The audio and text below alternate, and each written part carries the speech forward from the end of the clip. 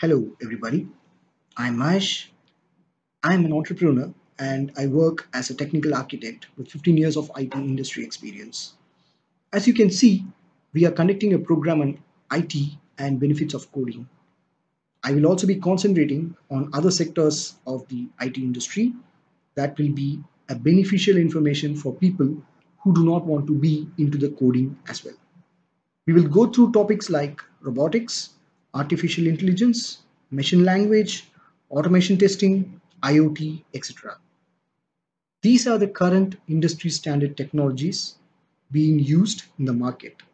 You can also make this session more interactive with your questions based on the current IT market situation, which I can help to clear off.